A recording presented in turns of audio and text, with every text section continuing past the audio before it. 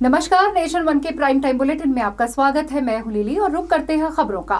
उत्तराखंड के देहरादून स्थित लक्ष्मण विद्यालय में छात्र छात्राओं का सम्मान समारोह आयोजित किया गया, जिसमें बतौर मुख्य अतिथि शिक्षा मंत्री अरविंद पांडे ने शिरकत की और साल 2018 में हाई स्कूल और इंटरमीडिएट में उत्कृष्ट प्रदर्शन करने वाले छात्रों को सम्मानित किया गया। इस मौके पर शिक्षा मंत्री ने सभी छात्र छात्राओं के उज्जवल भविष्य की कामना की। साथ ही उन्होंने कहा कि जो बच्चे स्टेट लेवल पर नहीं आ पाते हैं, उन्हें जिला स्तर पर सम्मानित किया जा रहा है और ये कार्यक्रम प्रदेश के सभी जिलों में किया जा रहा है। अभी हमने शिक्षा विभाग की समीक्षा बैठक की। इस समीक्षा बैठक में हमने तय किया कि जो छात्र प्रतिभावान हैं और जिन्होंने अच्छे अंक इस साल हासिल किए हैं, उनको स्टेट कमेटी द्वारा स्टेट लेवल पे जो बच्चे चुन के आते हैं उनको तो हमारे द्वारा भी राज्यपाल महोदय द्वारा सम्मानित किया जाता है। लेकिन जो डिस्ट्रिक्ट लेवल पे जिन बच्चों को जो थोड़े कम अंक वाले हैं, जो स्टेट लेवल पे नहीं आ पाते हैं, उन बच्चों को हमने डिस्ट्रिक्ट लेवल पे सम्मानित करने के लिए हमने सी लेवल और डीएम लेवल पे व्यवस्था की है। तो आज देहरादून ज़िले का जो बच्चे अच्छे अंक वाले हैं, उनको आज सम्मानित किया गया। देहरादून से अमित्रा तोड़ी की रिपोर्ट। बढ़ते अगली खबर की ओर, झारखंड के गिरिहीर में ग्राम स्वराज अभियान का आयोजन किया गया, जिसमें सांसद रविंद्र कुमार पांडे ने कहा कि चुनाव का टिकट कोई बस का टिकट नहीं है, जिसको काट काट कर बांटा जाए। वहीं उन्होंने नेताओं को नसीहत देते हुए कहा कि वे अपनी नेतागिरी चमकाना बंद करें। जो लोग पिछले दिनों से अखबार और इलेक्ट्रॉनिक मीडिया के माध्यम से प्रचार कर रहे हैं, वो टेंशन ना लें, क्योंकि 2024 तक गिरिहीर लोकसभा में कोई वैकेंसी नहीं है। बीजेपी ही आगामी लोकसभा क्षेत्र के चुनाव में अपने कार्यकर्ताओं और जनता के बल पर चुनाव जीतेगी। जो लोग अपना नेतागिरी चमका रहे हैं, उनको हम एक चीज़ कह दे रहे हैं कि 2022 तक 24 तक कोई वैकेंसी नहीं है।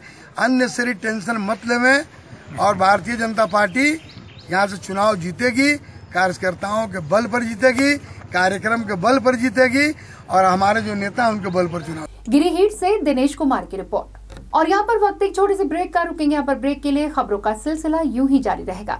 हाँ मैं मांगलिक हूँ और मैं तीस साल की होने जा रही थी। Then I found Mangliks dot com.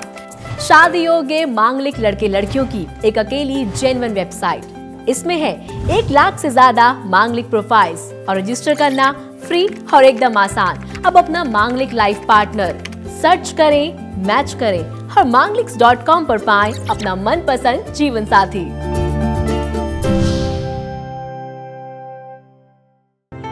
To register on manglix.com, use promo code nation1.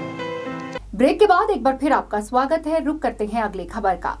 Baghpat jail में बंद कुख्यात अपराधी मुन्ना बजरंगी की हत्या के बाद उत्तराखंड की जेलों में भी गृह विभाग ने हाई अलर्ट जारी कर दिया है।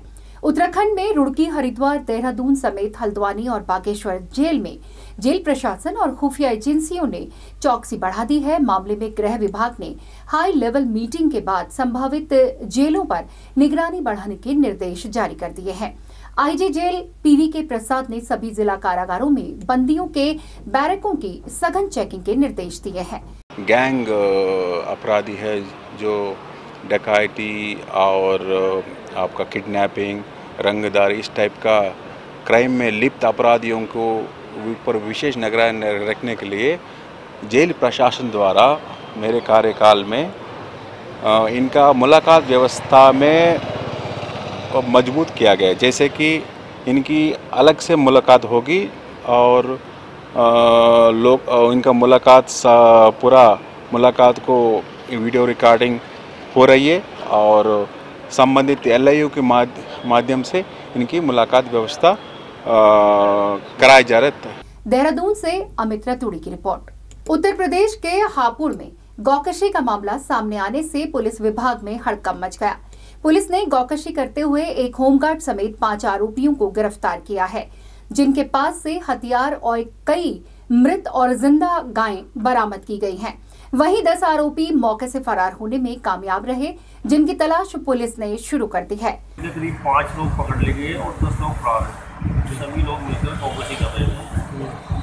दो जगह गोपसी कर रहे थे लोग। तो इनसे गाड़ी पिकअप तीन पशु गोबर गोबर काट चुके हैं और दो गाय ज़िंदा और दो बटे ज़िंदा इनसे बरामद की गई है। काटने के सभी उपकरण और अन्य सामान, लकड़ी वगैरह सब उनसे बरामद की गई है। हापुड़ से राजन त्यागी की रिपोर्ट। और प्राइम टाइम बुलेटिन में इस वक्त के लिए मेरे साथ इतना ही। देश और दुनिया की तमाम बड़ी खबरों के लिए बने रहे नेशन वन के साथ। मुझे दें इजाज़त। नमस्कार।